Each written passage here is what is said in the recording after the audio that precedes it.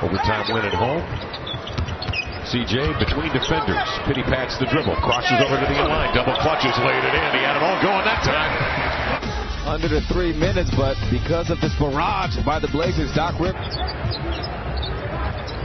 Blazers shooting 10 of 17, 58% here in the early going. CJ a one dribble pump for three. Got it. Back.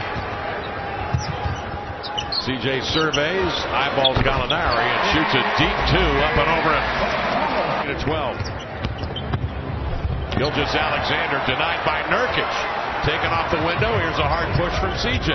Passed up a three to cross and go up and under with a scoop, and he blows by Gallinari for another bucket. Sometimes you got to sell that call, put a little bit of extra on it. Clippers to the limit. CJ goes to work. Spread floor. Fader up and in over Harrell. They're there for the board. Bring it outside. Reset with 14 to shoot. He's got 10 boards tonight. Off to Dame for three. No. Rebound recovered by CJ. Taking it right back to the rack and feathers it up and in. Into it. Dame is met by the 6'8 Harris. Jump pass Sabino. Ooh for four tonight. Nope. Swings it outside to CJ at three. Got it.